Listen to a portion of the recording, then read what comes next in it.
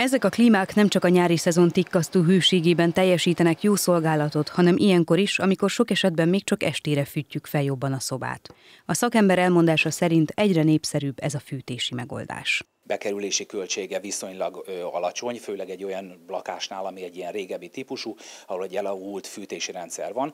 Ott ugye ezt egy pár százezer forintos ö, történetből meg tudják oldani, és viszont nagyon gazdaságos, ugye itt nagyon jó a hatásfok ezeknek a mostani készülékeknek, ugye ezek már mind inverteres készülékek, egy nagyon jó COP értékkel bírnak, és ezért egyszerű, gyors és, és viszonylag olcsó ahhoz képest, hogyha egy teljes fűtési rendszert újítanánk fel, és azzal akarnánk ugye megoldani a, a, az energia problémánkat. Nem csak a teljesítmény fontos, mivel azt is figyelembe kell vennünk, hogy a klíma, amit kiválasztottunk, képes-e mínusz 5, mínusz 10 fokban is hatékonyan üzemelni. Általában ezek a készülékek már, amelyik teljesen teljesített, az teljes értékű fűtésre is lehet használni. Egy 56 négyzetméter, ezt most így nem lehet behatárolni, hogy most ez 3,5 kW.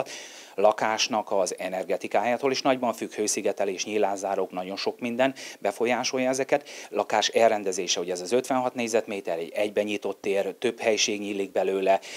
Ugye ez alapján tudjuk azt meghatározni, hogy hány készülék elegendő, és milyen teljesítményt számolunk rá. Ugye lehet alapesetben, hogyha egy átmeneti időszakban akarunk csak kiegészítésnek használni, kiegészítésre használni ezt a klímaberendezést, oda egy 3,5 kW-os berendezés is elegendő, de a teljes értékű fűtésre akarjuk használni, akkor már viszont lehet egy 5 kW irányába mennénk el, mert kell az hozzá, meg ugye tudni kell, hogy ezeknek a készülékeknek nagy hidegbe a teljesítménye beesik. Szóval ez a 3,5 kW, ez egy 0 plusz 7 fokos környezeti hőmérsékleten határozzák meg. Ahogy elkezd hűlni a kint az idő lefelé, ez a készülék is úgy csökken, úgy veszt a teljesítményéből. Nem mindegy, hogy egy belvárosi társasházba vagy egy városszéli családi házba szeretnénk klímával fűteni. A szakember azt is elmondta, hogy a kedvező működtetéshez tarifás mérőt kell igényelnünk ha klímafűtésbe gondolkozunk, hogy mindenféleképpen egy hátarifás mérőt a szolgáltatónktól kérnénk. Ezzel ugye gazdaságosan tudjuk üzemeltetni ezeket a készülékeket.